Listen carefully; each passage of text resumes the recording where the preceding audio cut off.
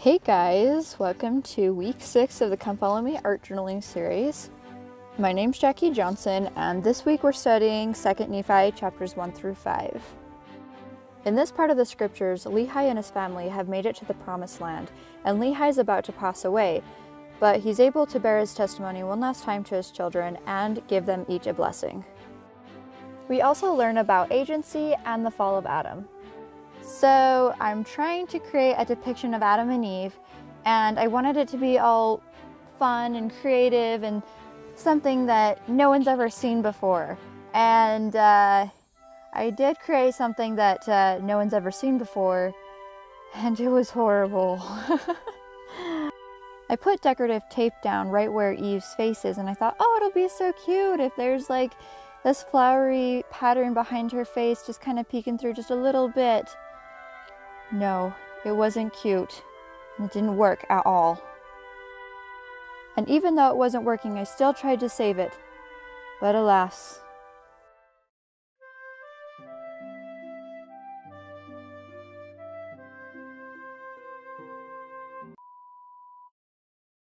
Finally, I just gave up on that one and I decided to move on to attempt number two. So I started to work my magic. And by magic, I mean that I covered my picture with a piece of paper. Normally, if my art journal pages aren't working out, I'll just cover it with collage. But I used collage in my last two videos and I kind of wanted to just switch it up a little. And since my experiments have been working out so well, I decided to do another experiment. And I just really had my heart set on creating on watercolor paper this time. So I glued down a piece of watercolor paper and then I used the tape to create a border around it and to tape down the edges. And then I decided to go with a much more simple design for my Adam and Eve characters.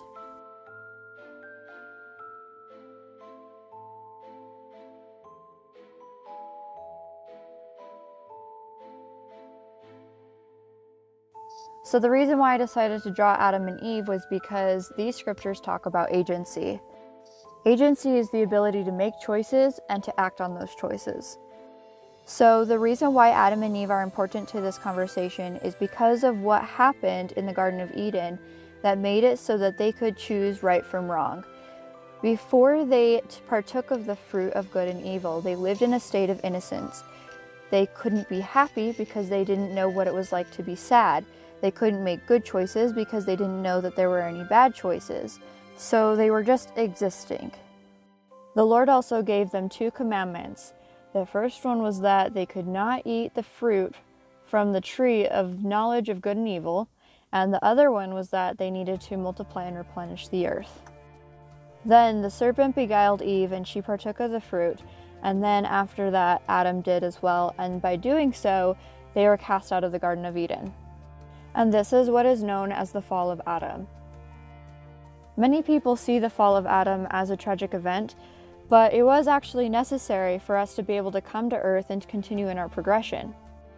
And in Lehi's words, he says, All things have been done in the wisdom of him who knoweth all things. Adam fell that men might be, and men are that they might have joy.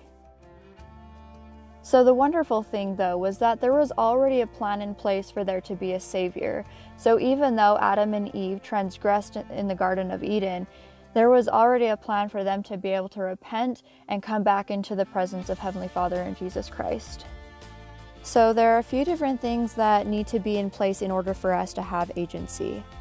The first thing is that we need to have a knowledge of good and evil. Each of us was born with the light of Christ inside of us, and we can feel when something is right or wrong. The more that we follow after truth, the greater our ability becomes to be able to discern right from wrong. When we allow darkness into our lives, that ability diminishes within us.